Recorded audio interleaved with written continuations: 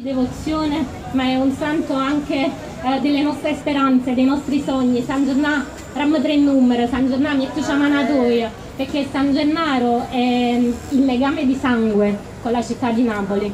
San Gennaro sceglie il sangue perché San Gennaro nel sangue tiene Napoli e noi nel sangue teniamo a San Gennaro. E lo dobbiamo, lo dobbiamo amare e lo dobbiamo rispettare, dobbiamo fare in modo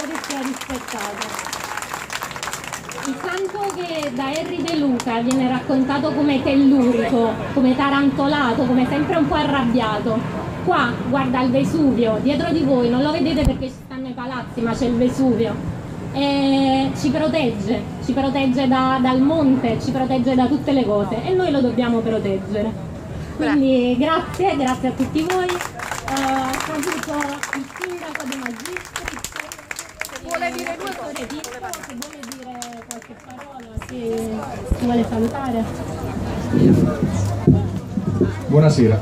Credo che il modo migliore per ricordare una persona che amava questa zona come Ilaria è mettere il suo nome per sempre in questo restauro così bello che si aggiunge all'altro restauro così bello. E poi vorrei sottolineare un'altra cosa, che questa è opera della collaborazione tra tanti cittadini che hanno contribuito insieme all'associazione Due Sirene con il crowdfunding, alla collaborazione tra istituzioni come la sovrintendenza e il comune ed è la lotta quotidiana in questa città tra chi vuole recuperare attraverso piccole azioni la bellezza di Napoli e chi la vuole violentare ogni giorno. Non è una battaglia facile, basta girarci attorno e vedere le cose belle e le cose brutte, è una scelta che bisogna fare ogni giorno quando ci svegliamo la mattina. È molto complicato, è molto difficile, è un fatto di passione e di amore. Io credo che a Napoli tanta gente non si accontenta più di avere le mani in tasca, ma le vuole mettere in movimento e se le vuole sporcare per le cose belle,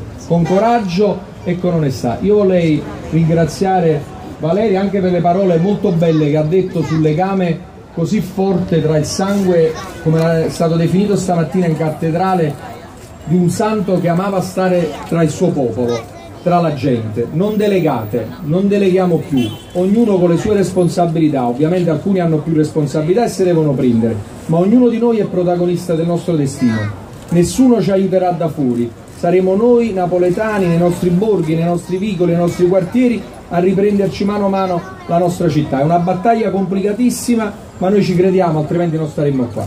Grazie e buona serata a tutti.